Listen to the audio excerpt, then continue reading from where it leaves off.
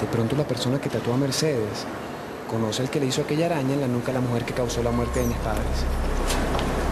Mercedes, ¿dónde te fuiste a tatuar? ¿Quién te lo hizo? Bueno, yo fui con Octavia a buscar a un viejo conocido de ella que se dedica a eso.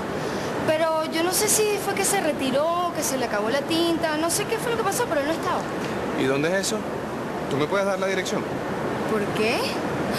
Ay, mi amor, ¿te vas a hacer uno para mí? ¿Qué, qué te vas a hacer? ¿Un corazoncito o mi nombre? Eh, Mercedes, yo... Mi amor, ¿dónde te vas a hacer el tatuaje? Más abajito del ombligo. Mira que mi nombre es largo. Pero yo estoy segura que cabe entero Mercedes Luzardo Ferrari. Mercedes, escúchame. Yo no me voy a hacer ningún tatuaje. Y muchísimo menos ahí. Yo te pedí la dirección para dárselo a un amigo. Eso es todo. Bueno, ¿me la vas a dar o no me la vas a dar? Sí, mi amor, no te pongas bravo conmigo, ¿sí? Porque mejor no me das un besito.